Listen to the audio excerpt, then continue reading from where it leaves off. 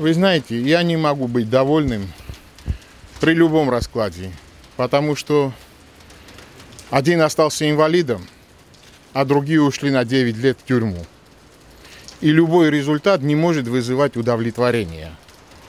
Такие уродливые явления в любом случае не могут вызывать удовлетворения, независимо от того, какой приговор. Другое дело, что приговор, э, на мой взгляд, достаточно суровый. Э, Двое из э, подсудимых были осуждены к 9 годам лишения свободы по совокупности приговоров. Это Валиулин и Суров были осуждены по совокупности приговоров к 9 годам лишения свободы, Щуплецов к 8 годам и 6 месяцам лишения свободы с отбыванием наказания э, в исправительной колонии строгого режима. Вот таков итог этого следственно-судебного марафона.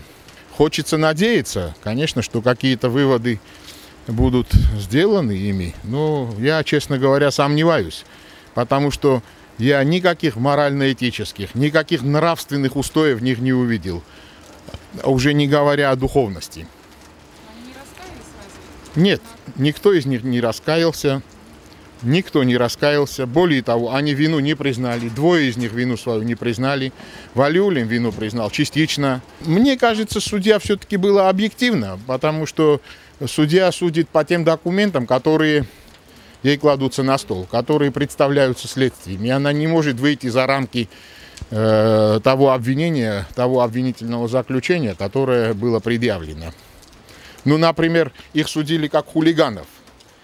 Их судили за то, что они совершили это преступление, вот причинение тяжкого вреда здоровью Саакяна из хулиганских побуждений. Но я вам уже сказал, что я усматриваю не только этот признак, я усматриваю, что они действовали из националистических соображений. Вы знаете, эти люди, если их таковыми можно назвать, совершили ряд преступлений.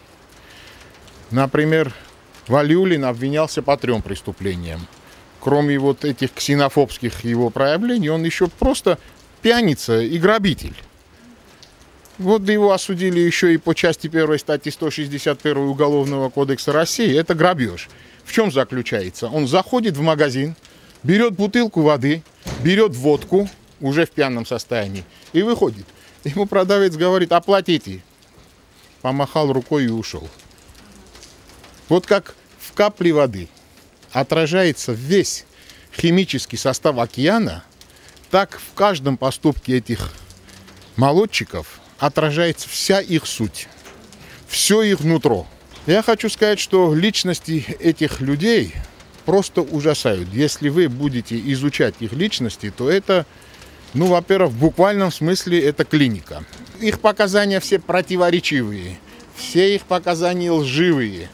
Они все направлены на то, чтобы избежать уголовной ответственности. Все шесть томов, все шесть томов этого уголовного дела свидетельствуют о том, что они виновны. Виновны в совершении тяжкого и особо тяжкого преступления. Они виновны в том, что людям причинили горе, и не только э, мы говорим о Саакяне, но там есть еще Сатриванов. Вот, действовали они из националистических, действовали они из ксенофобских соображений, из шовинистических.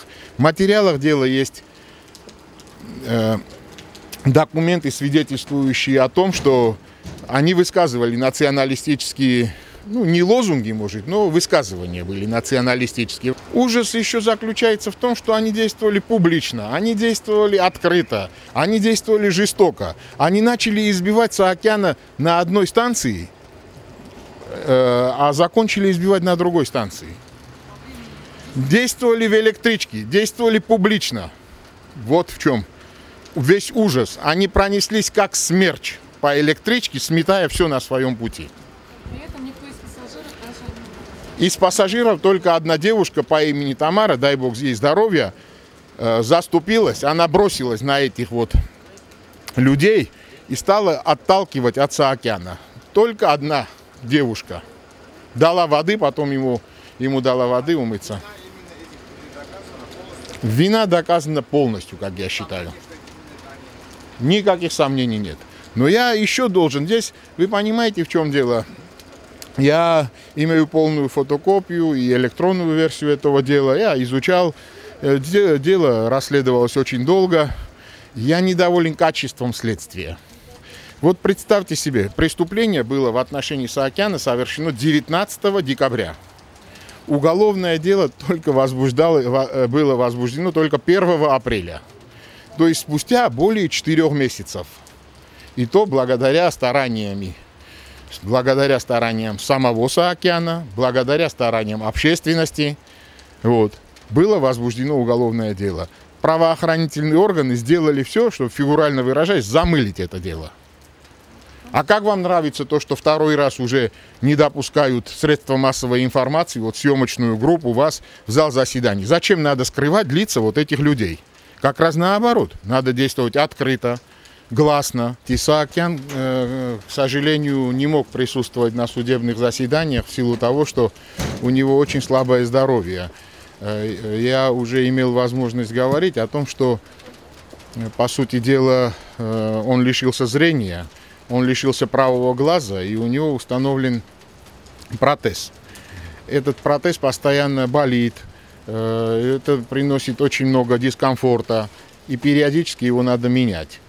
Вот. Но мы говорим о самом серьезном телесном повреждении, как потеря зрения. Но у него ведь э, в связи с тем, что он был жестоко избит, и другие болезни, это в целом все сказывается. Кроме того, я хочу сказать, что есть некий психологический, видимо, слом. Вот трагедия Саакяна на сегодняшний день, помимо всего прочего, еще заключается в том, что вот как он должен предстать перед своей мамой, например, перед своей сестрой? Они ведь ничего не знают. Вот как, каково будет маме увидеть ослепшего на один глаз сына? Вот как они это должны пережить, я не знаю. Я сегодня у меня спрашивали представители других средств информации, вот как дать материал в эфир, что родители могут узнать, понимаете? Это же большая проблема.